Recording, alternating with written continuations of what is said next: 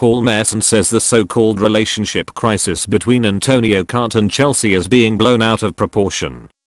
Chelsea's opening day defeat by Burnley prompted odds on the Blues retaining their title to drift to 13 over 2, while Conte was instated as the favourite to be first Premier League manager to depart this season. Last season star striker Diego Costa continues to refuse to return to London to train with the Blues, but Merson says it is still very early in the season to write off Chelsea and Conte. Merson said on Soccer Saturday, they drifted like a barge, Premier League betting wise. I think they went out to 13 over 2. Nobody is going to win every game in a season, it's one game.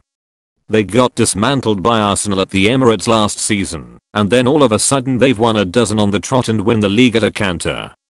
I think there's a long way to go. The players they are missing, Eden Hazard, Pedro, Victor Moses, Bakayoko, who could miss them? Chelsea can't afford to miss a Hazard, as much as Tottenham can't afford to miss a Harry Kane. I think sometimes it gets blown out of proportion. You say he can't, has got a reputation for leaving clubs early, this is different, surely? I'd be shocked if he was the first to go. Chelsea's critics have argued that the Premier League winning side is no stronger than last season, having sold Nemanja Matic to Manchester United, while also losing John Terry and the impending departure of Costa.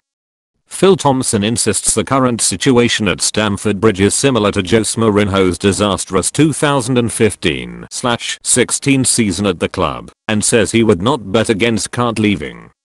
Thompson said, the big players he has brought in, like for like, have left the club too. So he's actually no better off than last season. This is quite reminiscent to Mourinho's last season, where it all went pear-shaped, it started happening quite early in pre-season. It's all going pear-shaped in front of him.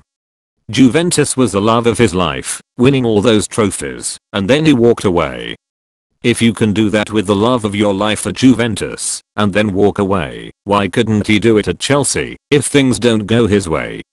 Maybe he's not favourite to be the first manager to go, but I can certainly see him being the second or third favourite to go.